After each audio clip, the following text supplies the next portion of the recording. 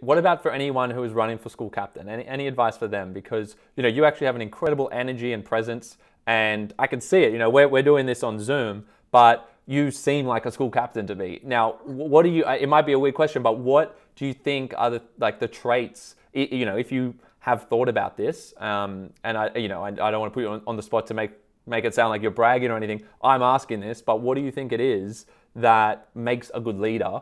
And you know, what are some things, if it's within anyone's control, that you know they should be thinking about if they want to go for a position such as school captain, or maybe you're at university and you want to you know be the head of a particular club and society. Maybe you want to rise up and be a leader at a company. What advice do you have there, if any?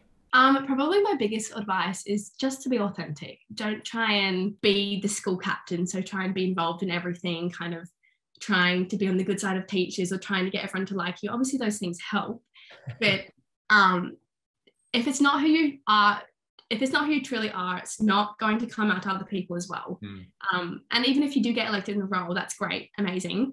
Um, but it'll show throughout the year that it's not really who you are. Mm. So I think just trying to be yourself, trying to be as confident as you can, step out of your comfort zone.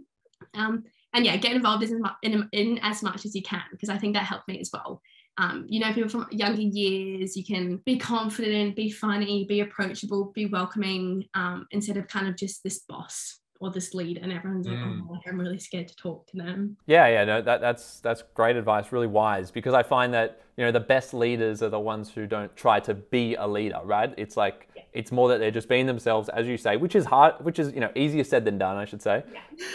Especially when you're a teenager, that's why it's very admirable. Like I feel like you know, when I was uh, at high school, you know, I was a prefect, I wasn't a school captain or anything, and I can like kind of look back and appreciate why I wasn't ready for that kind of role anyway. Not, to, you know, I just wasn't voted in as that, but I can I can see looking back that I might not have actually been ready. There's a certain like self-esteem that I've I've seen across the board. If I look at all the school captains I know, there's like a self-esteem and they're like comfortable with themselves because I find that if you're not comfortable with yourself, how are you going to be yourself? Like to your point, just going into the nuance there. So that's a really hard thing to get. And like when we talk about self esteem and um, kind of just backing who you are, which then allows you to be authentic, and people, as you said, people can sense it and they can sense when someone's putting on a persona, maybe because that is a reflection of them being insecure with their natural self. Right, but most people at high school have those insecurities, and it's really hard to work through them. But I, I would add, you know, since leaving school, that in order to be your authentic self, you know, if you can